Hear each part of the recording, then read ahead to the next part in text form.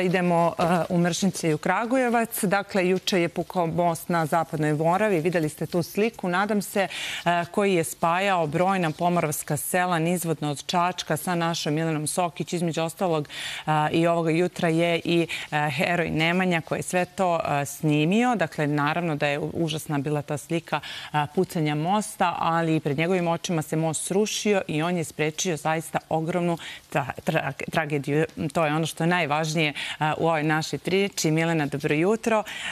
Evo, izvoli. Dobro jutro Marija, dobro jutro kolegama, dobro jutro gledalcima prve televizije. Tako je, ja se nalazim u Mršincima i tu sam sa meštanima, ali ću ovoga jutra najpre popričati e, sa Nemanjom koji je predupredio e, potencijalnu tragediju ovog mosta na Zapadnoj Moravi, koji je zapravo bio i žila kucavica meštana ovih krajeva. Nemanja, dobro jutro i hvala što ste izdvojili vreme za gledalce prve televizije. Pa recite mi na samom početku, pred vašim očima se most urušavao. Kako je to izgledalo? Izgledalo? Pa nekako utisak je bio, mislim, jeza je prošla kroz sve nas tu, bilo nas tu nekoliko, taj policajac koji je ostao, koji je sklonio te turke sa mosta.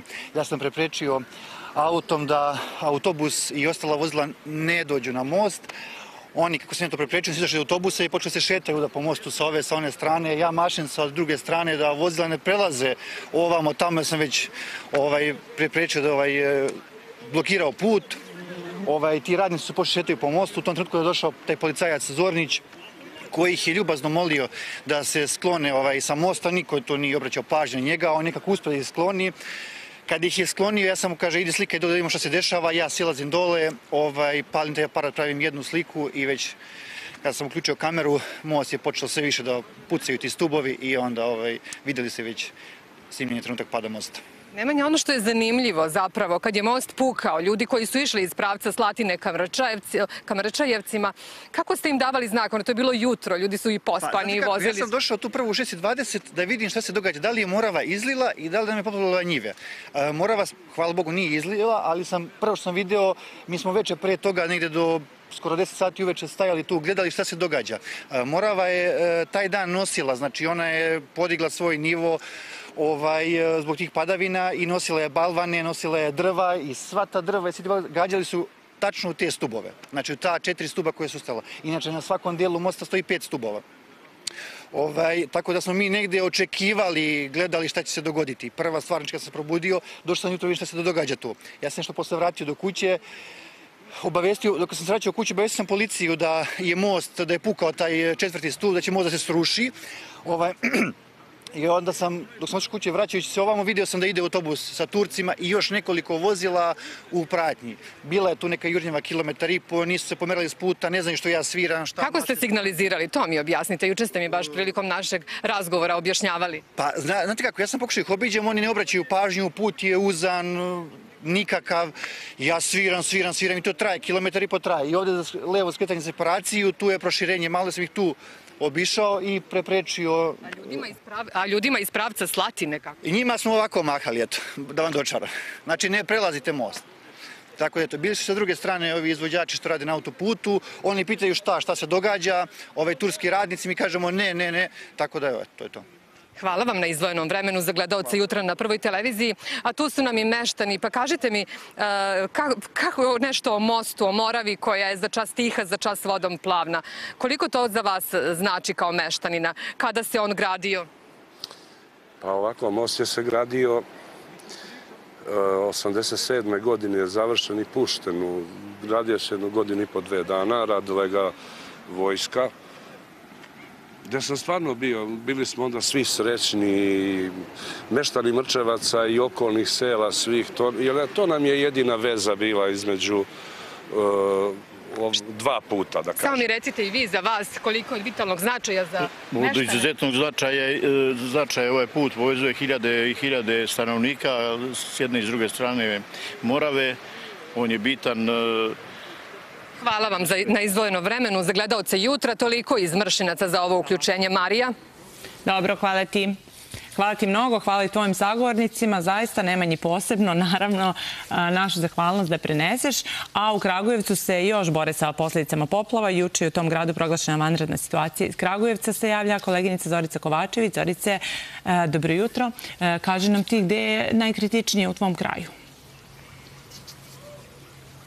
Dobro jutro iz Kragujevca. Pa kod nas nije tako dramatično kao u Čačku i kod koleginice e, Milene. E, voda se povukla, saniraju se posledice, ali javljaju se i novi problemi. Ovde je nekada bio put, međutim, javilo se klizište i put je gotovo nestao. I svakog dana, mi smo odavde i juče izveštavali, sve više tone i sve su veći ovi krateri. E, naselje Grošnica, glavna saobraćajnica, u ovaj kraj se sada ide zaobilazno prazno preko Ćave. I u ostalim delovima grada teško. Rekoh, voda se povukla, ali dve stotine ulica meštani su tražili pomoć da se saniraju posledice. Pumpama se još uvek izlači voda iz poplavljenih kuća. Predstoji pranje, dezinfekcija i sušenje. Iz Instituta za javno zdravlje obavestili su Kragujevčane da ima dovoljno svih hemikalija i da ne brinu, a Crveni krst je pripremio dodatne e, pakete pomoći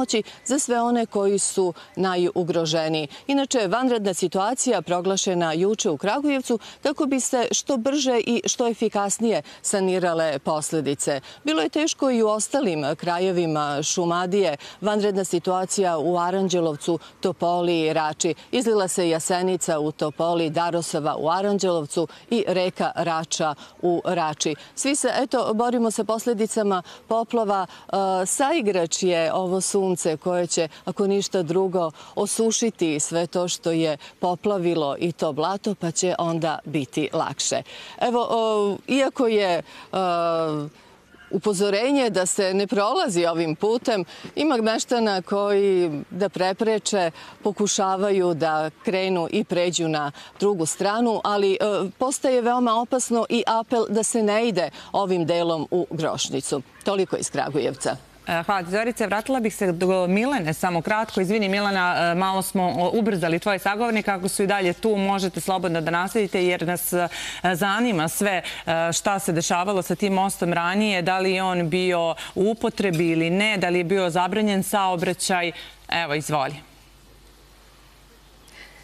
Marija, on je jeste bio zabranjen za saobraćaj, međutim meštani su ipak koristili, ali to najbolje zna meštanin Zoran i meštanin Radiša, oni to najbolje znaju.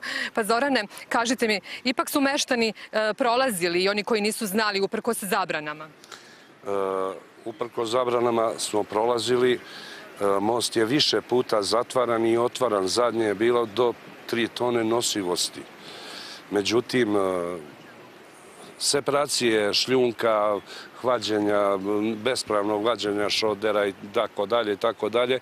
A između ostalog i rušenje mosta sad u Adranima e, je uticalo na to da Buda ovim putom ili ovim mostom bude velika frekvencija saobraćaja, što je, što je ovaj, i normalno, jer ovaj put povezuje dva mesta – dva puta u stvari. E, novi magistralni put i stari magistralni put Čača-Kraljevo. Ogromna frekvencija, jedini most između Čačka i Kraljeva, ovuda je bio ogromna frekvencija saobraćaja. Drugo, ovo je samo nemar. Ovo niko nije održavao i ovo ničije nije bilo. Sve je bilo naše, ali je bilo ničije. Šta vi kažete, Radiša, za most? Evo, vežu vas, kažete, malo pre ste mi rekli neke lepe uspomene, kažete i da je najopavaniji.